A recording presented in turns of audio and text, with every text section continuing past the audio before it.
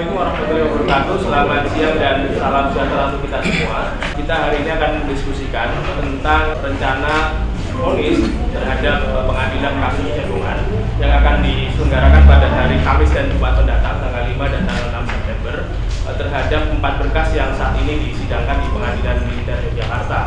Nah, pada kesempatan siang hari ini untuk membahas soal ini sudah hadir beberapa orang narasumber. Eh, pertama nanti dari eh, KRPN, Koalisi Rakyat Pemantau Peradilan Militer, yang selama ini melakukan pemantauan terhadap proses persidangan peradilan militer secara langsung di Yogyakarta.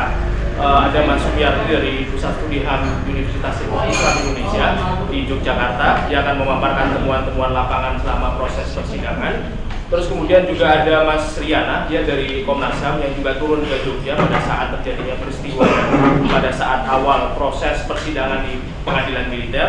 Ada Bapak Helmi Fauzi, dia dari Komisi 1 DPR RI yang selama ini berhubungan dengan eh, Kementerian Pertahanan maupun dengan eh, pihak eh, TNI.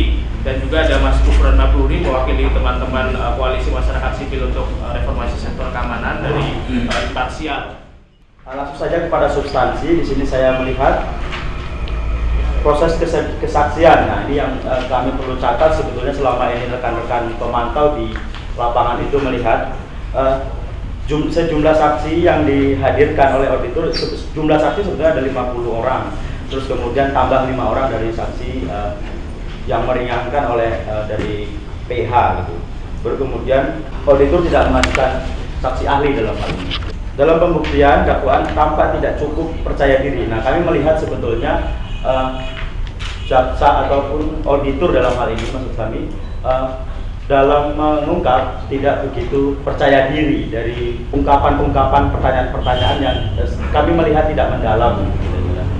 Pengunjung yang hadir itu selalu didominasi oleh orang-orang yang selama ini mendukung kira-kira atau sekelum- sekumpulan masyarakat yang selama ini mendukung.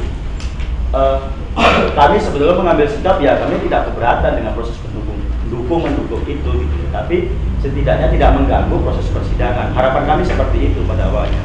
Tapi faktanya kan jauh terbaliknya gitu loh Prof. terus kemudian di luar sidang kami juga menemukan intimidasi terhadap ya kami sifat kami me- merasa itu intimidasi ya. Eh, karena eh, ketika rekan-rekan eh, apa pemantau itu didatangi oleh eh, pihak tertentu eh, masyarakat lah gitu yang menamakan organisasi tertentu eh, itu mencoba eh, menjustifikasi kami itu eh, seolah kami itu nggak suka nggak sukai oleh mereka mereka gitu loh. Kami tidak suka dengan eh, temuan dengan ungkapan-ungkapan eh, apa KRPM gitu kira-kira hakim juga tidak kritis dalam hal ini kami melihat. Dan yang paling aneh kalau menurut kami sebetulnya hakim malah menyarankan majelis hakim malah menyarankan para terdakwa dan saksi itu saling bermaafan gitu loh saling apa namanya berjabat tangan dan berpelukan. Terus kemudian seolah hakim membiarkan proses intimidasi proses gangguan gangguan persidangan itu eh, menjadi tidak tidak baik gitu. Lalu kemudian eh, ada ancaman SMS nah ini eh, rekan pemantau kami mendapatkan ancaman SMS bukan cuma pemantau kami di Jogja mungkin mungkin dari Komnas HAM juga mengalami hal yang sama kalau kalau yang seperti itu. Simpulannya dari pantauan ini ya peradilan militer terhadap peristiwa penyebab cebongan berpotensi gagal. Kami menganggap ya kalau itu mau dilihat secara keseluruhan ya ya gagal. Nggak nggak sesuai dengan prinsip-prinsip yang selama ini dipahami. Kita bersama gitu. Eh, kayak ya prinsip keadilan terpenuhi transparan. Sampai sekarang kami mengupdate eh, materi-materi persidangan itu oleh pengadilan tidak diberikan. Sudah lebih dari sebulan dari tanggal 1, tanggal 31 eh, Juli. Sampai sekarang itu nggak nggak diberikan salinan-salinan eh, apa persidangan itu. Nah kami menganggap ya tidak terbuka dan tidak transparan ternyata pengadilan militer yang paling ironis sebetulnya ketika jam atau auditor itu menyampaikan apa jiwa korsa mereka sama. Enggak dalam hal itu mungkin jiwa korsanya sama. Dalam hal-hal kemiliteran tapi dalam hal penegakan hukum seharusnya dibedakan dong harapan kami bisa seperti itu. Bahkan pemagaran apa penguncian pagar itu dilakukan oleh massa penduduk pemblokiran jalan.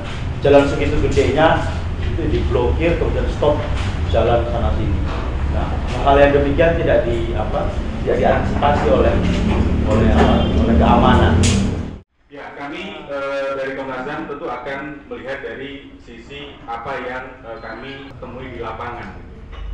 Jadi ketika peristiwa itu terjadi bulan Maret itu bahwa Komnas HAM e, berdasarkan pemberitaan dan juga akhirnya menerima pengaduan dari e, Makaryo Kompas Masyarakat Jogja, kemudian kami e, secara langsung melakukan e, pemantauan pendidikan langsung ke e, lapangan juga kami melakukan e, semacam rekonstruksi untuk meyakinkan posisi-posisi di mana para pelaku ini. Nah ini yang kalau menarik kalau kita lihat dari proses pemeriksaan tidak ada rekonstruksi ya, sehingga ini juga kita tidak bisa melihat secara nyata. Kami rekonstruksi bahkan tindakan-tindakan bagaimana e, aparat itu mendapatkan e, penganiayaan dan e, sebagainya. Nah tentu dari e, apa yang kami e, temukan memang motif yang uh, berkembang ini adalah uh, semacam uh, balas dendam ya sehingga karena mereka tidak terima dengan uh, Sergei Santoso dan juga pembacokan Sartosiono inilah kemudian uh, mereka mencari. Nah Komnas pada uh, Komnas juga ini ada uh, perencanaan ya. Bisa dilihat bahwa mereka punya peralatan yang uh, lengkap dari senjata, kemudian sempat menunjukkan uh, kertas kop uh, mengaku dari Polda dan juga ada pembagian uh, tugas masing-masing person yang ada di sana. Jadi yang mungkin tiba-tiba langsung ke lapangan langsung berbagi peran di sana. Dari apa yang kami lakukan uh, pemeriksaan di lapangan, kami menyimpulkan bahwa memang ini terjadi uh, tindakan extrajudicial killing ya, artinya terhadap tahanan yang sedang mempertanggungjawabkan secara hukum uh, apa yang mereka lakukan, kemudian ini yang menjadi tragis terjadilah pembunuhan secara senang di luar putusan pengadilan dan terjadi di rumah negara, artinya di institusi negara yang namanya di lapas uh, kelas uh, 2 di, di uh, Sleman atau dikenal dengan uh, lapas uh, Cebongan. Nah dari informasi manusia uh, kami menyimpulkan bahwa beberapa pelanggaran HAM tentu pertama adalah uh, untuk hidup ya right to life uh, terhadap empat orang uh, tahanan di diskusi ini tentu uh, bertentangan dengan uh, norma dasar bahwa hak tersebut hal yang tidak dapat dikurangi dalam uh, keadaan uh, apa pun. Nah kemudian adalah untuk tidak melakukan perlakuan yang kejam, uh, tidak manusiawi dan berdasarkan terhadap manusia, ini dalam bentuk ya perlakuan uh, selain menembak secara brutal juga terhadap uh, para sipil yang uh, juga mendapatkan kekerasan. Nah, kemudian juga hal untuk proyek keadilan yang mana peristiwa pembunuhan ini kan berkaitan dengan mereka uh, sedang mempertaruhkan untuk uh, pertanggungjawaban perbuatan ya, tapi uh, mereka sudah dieksekusi, satu killing tanpa ada proses hukum. Nah, kemudian atas rasa aman, uh, kami menyimpulkan bahwa bukan hanya para petugas lapas dan keluarganya, tetapi komunitas saudara-saudara kita yang dari wilayah timur terutama yang sedang belajar di sana itu mengalami trauma dan ketakutan. Nah, kami juga berdialog dengan para mahasiswa di sana. E, mereka sebagian sudah pada waktu itu ya mereka mengungsi dan juga e, suruh pulang sama keluarga. Nah kemudian perampasan dan milik ya dalam bentuk e, CCTV dan juga beberapa e, HP. Nah atas dasar itulah Komnas e, tidak berhenti pada hasil penyelidikan sehingga ketika dalam proses persidangan kami juga melakukan e, pemantauan. Nah kami di dalam Undang-Undang 39 punya mandat e, sesuai diatur dalam pasal 89 e, ayat 3 kami punya mandat namanya amicus curiae yaitu teman di dalam persidangan atau sebenarnya yang tertulis adalah memberikan pendapat dalam proses e, peradilan yang sedang berjalan. Kami sudah melakukan upaya itu dengan meminta kepada e, Ketua Majelis hakim akan tetapi e, kami tidak e, diakomodasi. Karena untuk memberikan admisi atau mikus ini harus seizin dari e, ketua e, e, hakim majelis hakim yang ada di sana. Padahal secara mandat kami punya kewenangan itu tapi e, kami tidak e, diberikan. Nah tetapi e, kami tetap menyampaikan dalam bentuk tertulis dengan harapan e, dijadikan juga sebagai e, bahan e, pertimbangan. Nah persis dalam proses persidangan e, kami juga e, melakukan pemantauan walaupun tidak secara intens, tapi dalam beberapa uh, kesempatan kami uh, berkunjung ke sana dan melihat secara langsung benar bahwa ketika teman-teman uh, civil society dan juga media mendapatkan teror, kami tidak diam begitu saja, kami langsung koordinasi dengan Dewan Pers. kami menggelar komunikasi pers bersama untuk bagaimana melindungi hak-hak dari para uh, media ini untuk menjalankan tugasnya. Nah, kami juga koordinasi dengan LPSK untuk memastikan uh, agar para saksi dan korban ini sejak dari awal uh, kami juga langsung koordinasi supaya ada jaminan perlindungan sehingga uh, mereka bisa uh, memberikan kesaksian dengan uh, baik. Pertama-tama saya ingin menyatakan bahwa pelanggaran HAM oleh TNI bukan suatu hal yang baru. Bahkan tindak tindakan yang mengarah kepada suatu tindak kriminal serius juga dalam setahun terakhir ini juga telah terjadi. Contohnya saja misalnya pembakaran di Sumatera Selatan ya, pembakaran oleh uh, oleh oknum TNI uh, Batalion Artileri Medan 576 Tarik Martapura yang menyerang markas Polres Organ Komuning Ulu, Ulu. Itu juga salah satu contoh. Tindakan yang lebih ringan lagi misalnya penyerangan terhadap uh, DPP PDI Perjuangan ya berapa bulan yang lalu. Jadi sebenarnya ini bukan suatu hal yang baru. Tapi kita juga harus mengingat bahwa ada satu hal yang baru terkait dengan kasus ini Udah kasus cebongan berbeda dengan kasus-kasus lainnya itu mendapat atensi publik yang luar biasa. Bukan saja di dalam negeri tapi dijual juga di luar negeri. Jadi di sini kita bisa melihat bahwa kasus ini di sisi lain juga dapat menjadi suatu momentum memajukan kembali agenda reformasi sektor keamanan. Ya. jadi kalau tadi beberapa teman-teman agak pesimis melihat dampak dari kasus cebongan ini saya justru melihatnya lebih lebih positif ya. Nah, di sini saya lihat bahwa di sini sudah ada langkah maju dibanding dengan sebelum-sebelumnya. Kalau sebelum-sebelumnya kasus ini akan mengendap begitu saja, tidak ada suatu proses peradilan. Tapi sekarang sudah ada proses peradilan. Jadi di sisi lain ini adalah langkah positif, ya, karena adanya proses, uh, proses peradilan. Sementara di sisi lain juga kita harus mengakui bahwa dalam kasus cebongan ini terdapat derajat transparansi yang cukup. Ya, transparansi ya. Terkait dengan berlangsungnya proses pengadilan itu sendiri. Artinya kelompok-kelompok yang memonitor proses peradilan itu sendiri itu dapat melakukannya. Ya. media juga dapat melakukannya. Ya. jadi ada derajat transparansi di sana dibandingkan dengan sebelumnya. Nah persoalannya adalah menyangkut soal kemandirian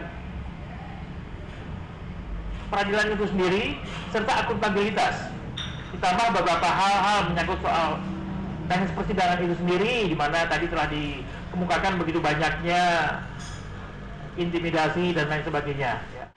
Nah sebenarnya dalam konteks ini Undang-Undang TNI Undang-Undang 34 nomor 2004 sebenarnya telah memberi mandat ya, kepada pemerintah dan parlemen untuk segera melakukan revisi ya, Undang-Undang 31 nomor 97 tentang peredaran militer. Amanat yang diberikan Undang-Undang TNI 2004 itu sebenarnya sangat jelas ya bahwa terkait delik umum yang militer diadili di pengadilan umum ya. Kalau kita lihat kan sebenarnya kalau kasus-kasus kriminal yang melibatkan militer mulai dari kasus kriminal seperti pencurian, ya, perampokan dan lain sebagainya, itu merupakan delik umum, ya. Selama ini tetap diajukan di pengadilan militer, nah, yang dinilai dalam banyak hal tidak objektif dan tidak membawa rasa keadilan, sehingga penting untuk dibawa ke peradilan umum demi asas kesamaan di muka hukum. Nah, persoalannya kemudian proses ini memang mandek. Mandek di DPR kenapa mandek di DPR karena memang pemerintah tidak pernah menyampaikan RUU revisi perjalanan militer sebagaimana yang diamanatkan oleh Undang-Undang 34 tahun 2004 tentang TNI memang ini sepertinya sangat sensitif sekali sehingga dia tidak masuk prolegnas. Makanya pada suatu kesempatan ketika saya tanyakan kepada Menhan Menhan sendiri tidak jawab. Ya. kenapa undang-undang yang sebenarnya diamanatkan harus segera dibuat. Oleh suatu undang-undang TNI ternyata tidak dibuat. Ya. Ini bahkan sudah jadi amanat langsung pasal 65 ya undang-undang 34 tentang TNI nah, kalau kita perhatikan di sini ternyata banyak faktor yang uh, saya amati menimbulkan resistensi di kalangan TNI untuk menerima suatu konsep peradilan umum ya, atas delik umum yang dilakukan oleh prajurit TNI. Salah satunya adalah faktor-faktor psikopolitik. Ya, faktor-faktor psikopolitik ini karena nampaknya TNI kita ini belum nyaman untuk disidik oleh polisi. Nah, jadi faktor-faktornya juga harus dipertimbangkan, ya. karena belum nyaman di, disidik oleh polisi sehingga resistensinya sangat kuat. Ya. Resistensinya sangat kuat untuk menerima suatu revisi undang-undang peradilan militer yang memungkinkan bahwa delik pidana umum yang dilakukan oleh aparat TNI, oknum TNI diadili di peradilan umum. Ya. Di sisi lain, ya ada anggapan bahwa bahkan dalam peradilan umum pun, ya, dalam penyelidikan di kepolisian pun, peradilan kita ini belum bisa bersikap fair, objektif, imparsial, dan memegang asas uh, independence of judiciary, kemandirian pengadilan secara penuh. Jadi faktor-faktor inilah yang saya pikir juga perlu kita benahi. Ya. Pertama-tama adalah juga dengan membangun kapasitas institusional dan kapasitas pembangunan institusi di dalam sistem peradilan umum itu sendiri. Mulai dari penyidiknya, ya, sampai peradilan umumnya itu sendiri, sehingga dia mempunyai legitimasi yang kuat, sehingga akhirnya ini kita harapkan bisa ada akseptasi termasuk dari tubuh militer ya untuk menerima peradilan umum ini. Nah, jadi tantangan ke depan ini adalah bagaimana merevis, merevisi Undang-Undang Peradilan Militer itu sendiri, Undang-Undang Nomor 97, sehingga delik pidana umum yang dilakukan oleh aparat TNI, termasuk pada kasus cebongan ini, diadili melalui suatu peradilan umum. Nah inilah tantangan kita bersama. Untuk itu kita harus uh, menyiapkan suatu roadmap yang jelas. Terus juga fase fase transisional. Ya. Sebelum akhirnya sepenuhnya konsep peradilan umum bagi tidak pidana umum dilakukan aparat TNI ini dapat dijalankan. Satu poin yang saya kira menjadi penting untuk kita lihat berangkat dari atau berpijak dari proses yang berlangsung di dalam kasus cebongan ada satu fakta yang menunjukkan bahwa tidak ada perubahan yang uh, terjadi dalam praktek peradilan militer di Indonesia.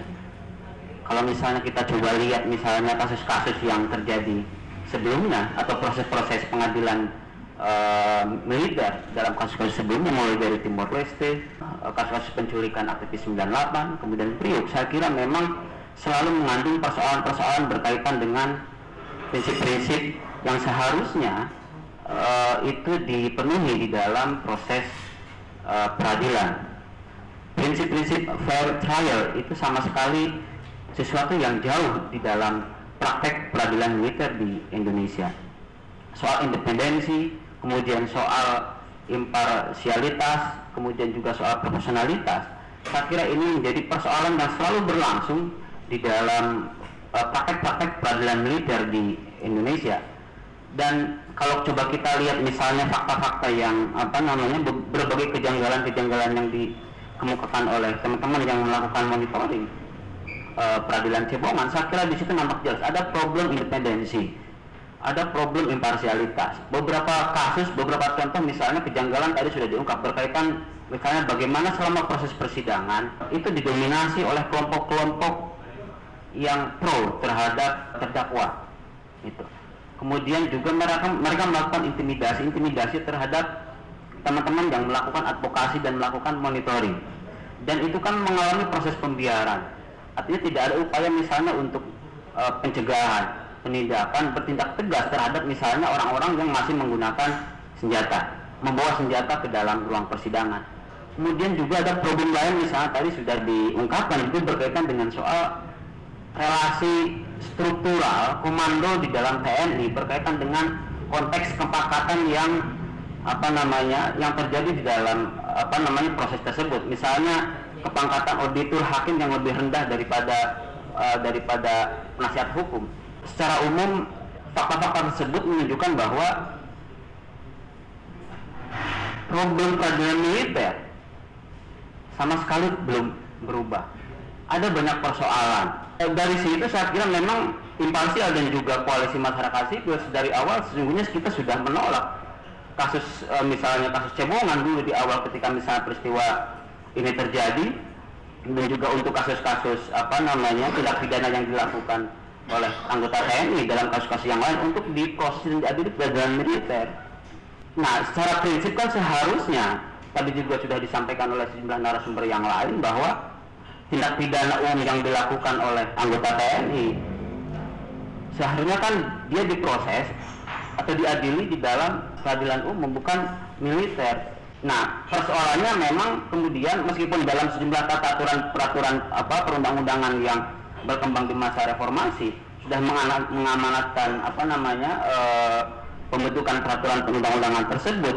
Tetapi memang kalau kita lihat di dalam konstruk undang-undangnya justru kemudian itu dikun- terkunci di dalam pasal yang lain gitu. Misalnya pasal 65 di situ jelas misalnya bahwa kekuasaan apa namanya anggota TNI yang melakukan tindak pidana apa namanya eh, hukum pidana umum dia harus tunduk pada kekuasaan peradilan umum. Tetapi dalam pasal 64 dinyatakan bahwa itu baru bisa diterapkan kalau sistem peradilan militer di Indonesia sudah apa namanya yang baru sudah diberlakukan. Tapi faktanya kalau kita lihat misalnya proses-proses sebelumnya proses revisi un- apa undang-undang peradilan militer ini kemudian mengalami kemandekan. Ada tarik menarik misalnya berkaitan soal yurisdiksi, apa, yurisdiksi antara DPR dan eh, pemerintah, Menteri Pertahanan yang masih menunjukkan sikap yang enggan untuk meletakkan memproses apa namanya meletakkan setiap kejahatan pidana umum yang dilakukan oleh anggota TNI di dalam pengadilan eh, di dalam pengadilan umum. Nah, problem yang kemudian apa namanya yang terjadi dari dari apa namanya dari terus berlangsungnya proses apa namanya eh, berbagai persoalan dalam peradilan militer saya kira memang eh, sering kali ini tidak memberikan efek jerah kepada anggota TNI di dalam melakukan aksi-aksi kejahatan. Nah ini yang kemudian tadi disebut sebagai siklus kejahatan oleh TNI karena memang faktanya peradilan-peradilan militer yang berlangsung di Indonesia dari dulu sampai sekarang eh, sama sekali tidak memberikan efek jerah kepada pelaku kejahatan eh, kepada anggota TNI yang melakukan kejahatan. Kalau kita lihat misalnya apa namanya misalnya kalau dalam hal vonis misalnya eh, kalau tidak diputus bebas sering kali putusan yang diberikan oleh pengadilan hakim yang ditetapkan oleh hakim cenderung ringan tidak sesuai dengan kejahatan yang dilakukannya tidak setimpal dengan tindak pidana yang dilakukan oleh anggota TNI tersebut gitu. Nah, juga ada problem soal apa namanya soal apa soal dalam proses di dalam proses jalannya persidangan yang saya tarik jauh dari prinsip-prinsip eh, trial tadi. Nah, dari situ saya kira poinnya adalah bahwa eh, apa namanya peradilan militer di Indonesia saya kira jauh dari eh, harapan publik bahwa ini akan menjadi ruang bagi terwujudnya kebenaran dan keadilan bagi masyarakat terutama korban dan keluarga korban gitu. Karena sering kali peradilan militer di situ berlangsung proses-proses misalnya manipulasi terhadap apa namanya terhadap eh, eh, peristiwa yang fakta-fakta yang sebenarnya terjadi gitu. Nah dalam kasus cebongan eh, saya kira memang eh, apa persoalan-persoalan yang saya sebutkan tadi itu saya kira berlangsung mulai dari prosesnya mulai dari pra persidangan kemudian masa persidangan saya kira ada proses-proses yang menurut saya ini menjadi penting untuk jadi catatan bahwa ke depan ini reformasi peradilan militer suatu agenda yang sangat urgent untuk dilakukan dan saya kira mendesak bagi parlemen untuk meletakkannya sebagai agenda prioritas ke depan.